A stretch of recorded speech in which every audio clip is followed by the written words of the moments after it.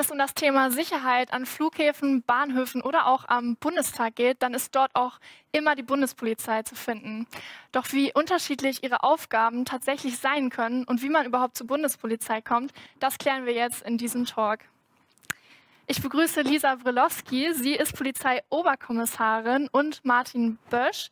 Er ist Polizeihauptmeister. Beide sind Einstellungsberater von der Bundespolizei. Ganz herzlich willkommen. Mit dabei ist auch wieder ähm, Herr Gabbard, Berufsberater von der Agentur für Arbeit aus Hildesheim. Schön, dass Sie da sind heute. Frau Brolowski, vielleicht kurz vorab, was unterscheidet denn die Bundespolizei eigentlich von der klassischen Landespolizei? Wie lässt sich das abgrenzen?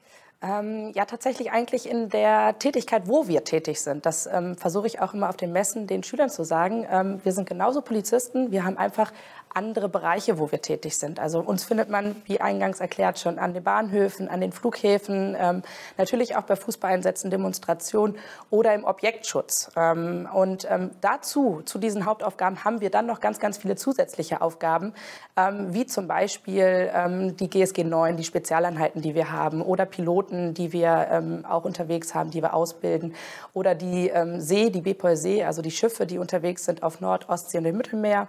Und auch so noch ganz, ganz viele Spezialisierungen, die man bei uns machen kann.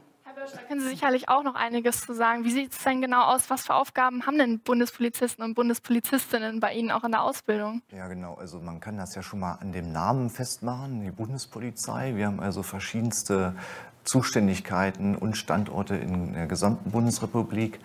Ähm, aufgezählt haben wir dann fünf Hauptaufgaben, die wurden jetzt schon genannt und dann nochmal sechs spezielle äh, Fähigkeiten, die erlangt werden, die durch ERVs getestet werden und in die man dann nach der Ausbildung später einfließen kann. Wie verhält sich das denn, ähm, wenn man sich für die Bundespolizei interessiert? Es gibt ja verschiedene Einstiegsmöglichkeiten, zum Beispiel mittleren Dienst oder höheren Dienst. Was sind da die Unterschiede? Ja, im Bereich des mittleren Dienstes ähm, den Schulabschluss mit Hauptschule und Berufsausbildung, mit zweijähriger ähm, Berufserfahrung und im Bereich ähm, des gehobenen Dienstes Abitur oder Fachabitur.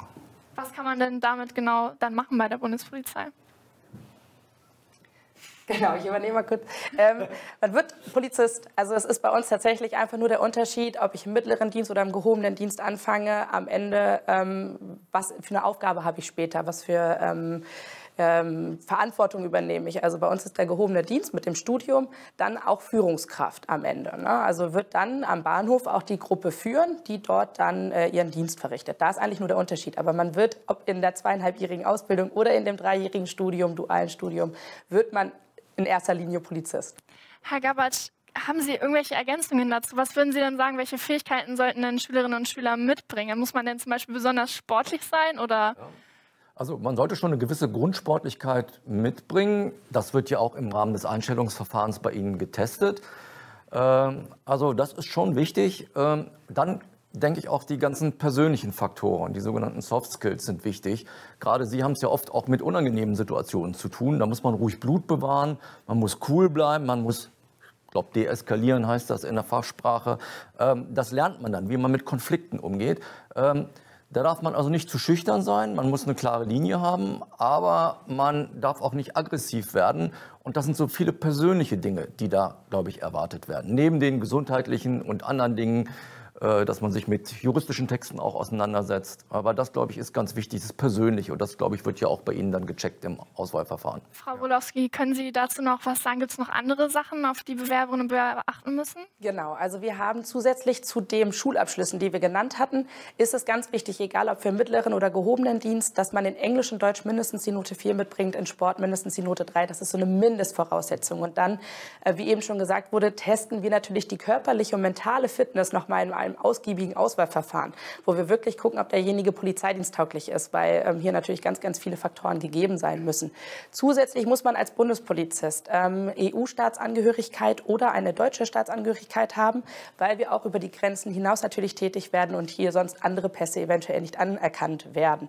Ähm, man sollte ein Demokratieverständnis mitbringen, man sollte ein ähm, Schwimmabzeichen in Bronze mitbringen. Auch da sage ich immer, es sieht ganz doof aus, wenn ich in Uniform an einem See stehe und da droht jemand zu ertrinken und ich sage, ja, ja, wir müssen warten, bis die Rettungskräfte kommen. Also nein, ich bin dann Ersthelfer und muss dann auch ähm, schwimmen können und auch jemanden eventuell aus dem Wasser ziehen können. Das, das heißt, es sind erstmal ja ganz viele Herausforderungen, die Sie schon mal sozusagen voraussetzen. Herr Bösch, wie unterstützen Sie denn die Auszubildenden auch konkret in der Ausbildung? Also ganz konkret, was äh, jetzt auch gerade genannt wurde, ist ja äh, dieses Vorbereiten auf Situationen. Das wird natürlich auch in der Ausbildung durch Rollenspiele gemacht, dass eben Kollegen in die äh, Rolle des Störers schlüpfen sozusagen, um da genaueste Vorgehensweisen zu üben und zu proben. Herr Gabatsch, wir haben jetzt gerade schon über die wichtigsten Voraussetzungen gesprochen. Gibt es denn auch vielleicht Schülerinnen und Schüler, denen Sie eher nicht die Ausbildung empfehlen würden? Also vielleicht Kandidaten, wo Sie sagen, hm, vielleicht sollte man sich da nochmal anderweitig umschauen. Ja, gut.